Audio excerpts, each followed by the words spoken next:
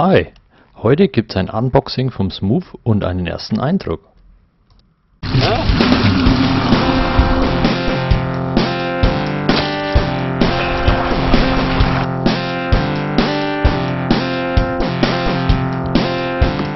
Die meisten von euch kennen ihn sicher, den Smooth, ein elektrisches Schubgerät, was hinten am Aktivrollstuhl montiert wird und einem das Anschieben spart.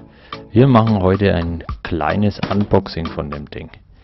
Erstmal Klappe auf und unnötige Schaumstoffverpackung auf die Seite schmeißen. So, das ist der Smooth mit seinen ganzen Anbauteilen. Sieht schon mal ganz schön aus in der Verpackung. Ich bin ja hier immer eher umweltbewusst und stehe nicht so auf diese Schaumstoffformteile, aber das scheint man ja heutzutage so zu machen. Also, erstmal den Smooth raus, also die Antriebseinheit, und dann mal gucken, ob es eine Anleitung dazu gibt. Ich schaue mir hier nur kurz die Anleitung an, so wie das wahrscheinlich die meisten machen, um mir einen ersten Eindruck zu verschaffen und das Ding mal in Betrieb zu nehmen. So, das Handbedienteil habe ich jetzt auch schon gefunden. Jetzt erstmal alles auf die Seite und das Montagematerial herräumen. Man braucht nur ein paar Imbusschlüssel dafür, um die Halterung an der Hauptachse vom Aktivrollstuhl zu befestigen.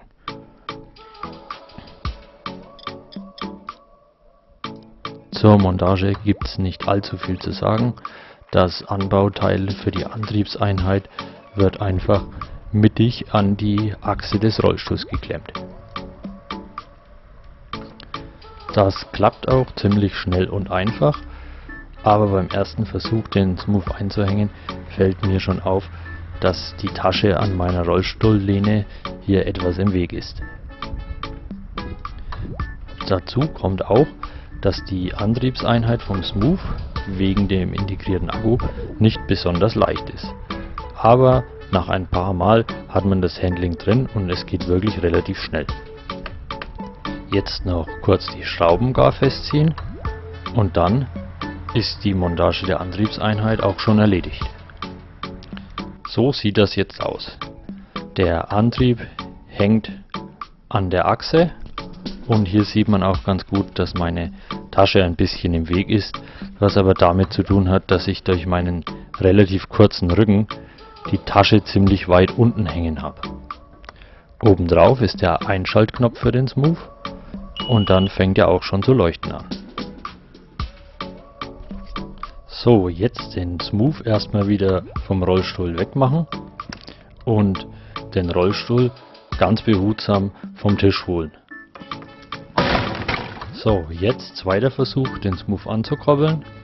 Jawohl, geht schon deutlich schneller.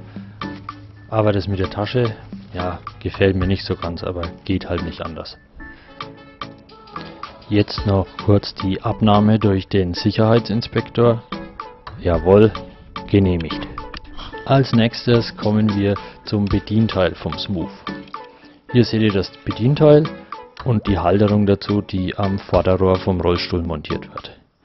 Das Teil lässt sich ganz leicht einklicken, sitzt dann auch wirklich fest und zum Entnehmen muss man unten den Entriegelungsknopf drücken.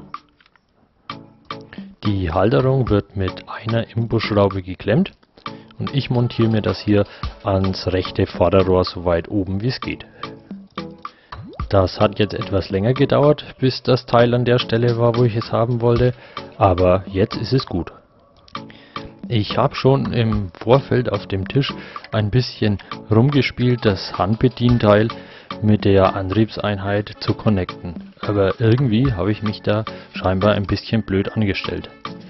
Dazu kommt, dass man hier außen bei der intensiven Sonne auch nicht wirklich die Statusleuchten erkennen kann und somit nicht genau weiß, ob es jetzt verbunden ist oder nicht. Jo, äh, scheint, als wäre das verbunden gewesen. Also in Zukunft auf jeden Fall etwas vorsichtiger mit dem Handbedienteil umgehen. Und der Smooth scheint doch recht kräftig zu sein. Also, das sah recht vielversprechend aus.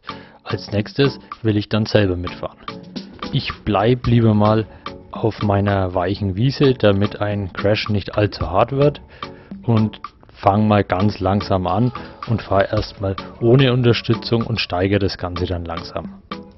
Der Sicherheitsinspektor ist natürlich auch wieder mit dabei und ich muss sagen, es funktioniert in der Wiese tatsächlich deutlich besser, als ich das gedacht hätte. Nach ein paar Mal hin und her fahren fühlt sich das Ganze dann schon deutlich sicherer für mich an und ich probiere auch schon ein bisschen anzukippen, was ganz gut funktioniert, aber mit dem starken Smooth hinten dran doch ein bisschen gewöhnungsbedürftig ist.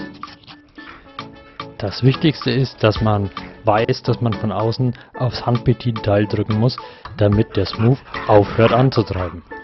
Ansonsten lässt sich das kräftige Kerlchen nämlich nicht stoppen. Wie ihr hier seht, macht der Smooth einfach weiter, obwohl ich voll die Bremsen gezogen habe. Im nächsten Video werde ich mir mal die App anschauen und schauen, ob man das in irgendeiner Art und Weise konfigurieren kann. Auch wichtig zu wissen, der Smooth kann sich nicht frei um 360 Grad drehen. Wenn man ihn in eine Richtung eingelenkt hat, muss man schauen, dass er sich in dieselbe Richtung wieder in die Fahrtrichtung ausrichtet. Sonst hängt man fest. Im Großen und Ganzen würde ich sagen, ist der Smooth ein modularer und recht kräftiger Elektroantrieb für Aktivrollstühle. Ich werde natürlich noch ein paar weitere Tests damit machen und wie vorhin schon erwähnt, noch ein zweites Video dazu. Ich hoffe, das Video hat dem ein oder anderen gefallen und weitergeholfen. Wenn ihr Bock habt, lasst einen Like da und wenn ihr Fragen habt, schreibt gerne in die Kommentare. Bis zum nächsten Mal bei Dom's Wheel World.